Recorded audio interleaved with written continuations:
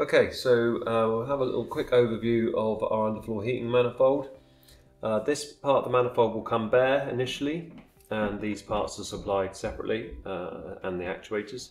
But to start here, we've got our inch isolation valves here, large butterfly valves, provide quick isolation of the manifold from the rest of the system if you needed to perform any kind of maintenance at all. Um, on these particular valves, we've actually also got built-in um, thermostats that sit in this little pocket here, which will be able to show you your flow and return temperature to uh, obviously determine your delta T across the whole system. This is your top flow bar to the manifold, which incorporates your flow setters or flow limiters. Uh, these are adjustable uh, by pulling up this red locking collar and then really by hand either turning them clockwise or anti-clockwise to change the flow limit which is set on this gauge here and you'll see you have 0 to 5 litres a minute which will be adjustable by say opening or closing the valve. We provide on our underfloor heating designs we provide uh, the set the, the flow set amounts for each loop so that you can accurately get the correct flow rate uh, and delta across each loop.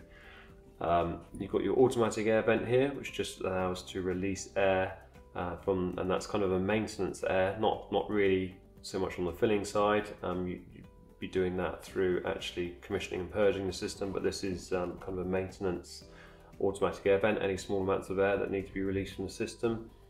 Um, these are your pipe connectors here, and depending on, for example, we've got a 12 mm pipe here, depending on your pipe size, we will supply uh, different connectors for each one.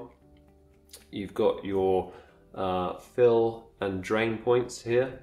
Uh, this is for commissioning the system, as I said, which we'll move on to, but these are just bib connections and have a small drain off uh, and, um, tap underneath there, which you can undo. Uh, here we have an electronic actuator, which is wired back to the wiring center. So when your room thermostat calls for heat, this will very, very slowly move up and there's a small piston in there which will allow water through and run around to run around the system. This is why we have our pump delay because these are very slow to open um, and they're supposed to be slow to open. Uh, the indicator on top here, this black um, sort of rubber part at the top in, is uh, actually pops up once the valve is open. So that'll indicate to you that that valve has fully opened. When you initially receive the, the manifolds, they do have a black collar in which uh, you have to pull out to enable the valve to actuate.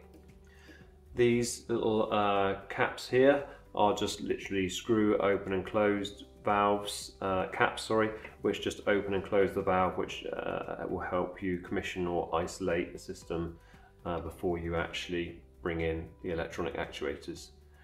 Uh, and finally here we have the pressure gauge, it just shows you the current pressure, um, obviously useful for um, once you initially commission as well, and pressure test system can be done through that.